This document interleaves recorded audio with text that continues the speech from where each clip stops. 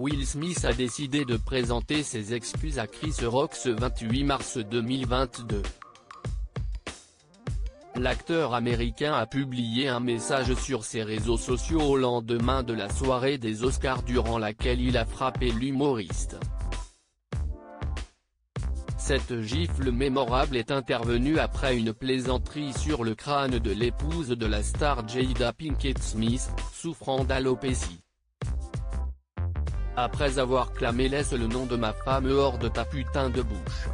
Depuis son fauteuil aux Oscars, Will Smith s'était excusé sur la scène lorsqu'il y est monté pour recevoir son prix de meilleur acteur pour sa performance dans la méthode Williams, auprès des membres de l'Académie et des autres nommés.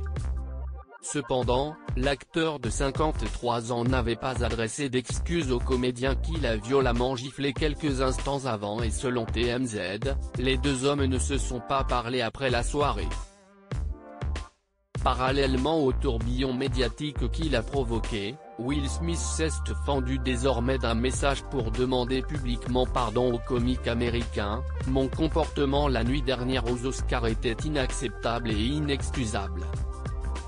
Les blagues à mes dépens font partie du boulot, mais une blague sur le problème de santé de Jada était trop pour moi et j'ai réagi de manière émotionnelle, a-t-il expliqué, rejetant explicitement toute violence.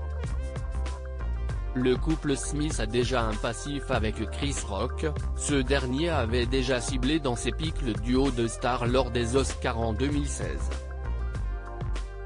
De plus, l'humoriste et la femme de Will Smith se partagent la vedette dans le film d'animation Madagascar et ses suites, dans lequel ils doublent respectivement le zèbre Marty et l'hippopotame Gloria.